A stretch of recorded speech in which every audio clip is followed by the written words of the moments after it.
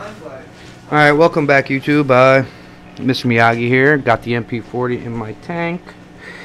And I got it on short pulse mode, the shortest you can possibly go. And there's a small wave in there. I do only have one MP40 hooked up at the time. Still gotta wait about a month to pick up another one. But I'm still messing with the settings. Uh, I gotta figure out what I want to do. Um, but for now, it looks like it's got some pretty good waves. A lot better than the grenade pumps. Can't stand them. Look at my 46 and these things are just horrible. They're so big that is I believe that's a 1050 on that side. I got um, a 750 there and I got two 240s in this tank. And there's decent movement. Just uh, not what I like. I really like the waves and everything you get with the MP40s. And I think they're going to be a game here. Um, quick tour of my fish tank here. I got um, current SunPod, two 250 watt halides.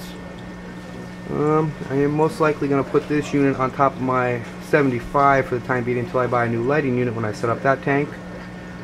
The Flame Angel, Yellow Tang, my clowns and chromies will all go into that system.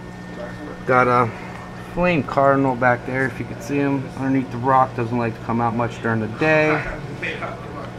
These fish might, might want to eat right now. We're all coming to my glass. I have seven chromies in there right now. I've only been in there for about two weeks.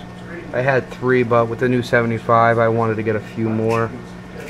Um, some nice Zoas right there. Green Bay Packers. I think Dragon Breath, I'm not really sure. And another one. My finger leather. Frog spawn, branching frog spawn. Some more Zoes, mushroom back there. My branching hammer coral I had for about four months now is the first coral I got, and the heads on that are just splitting.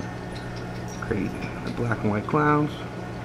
Kenya trees. We'll not put them in the 75. These things are just going out of control. Mm. And that's my tank. Who's camera now?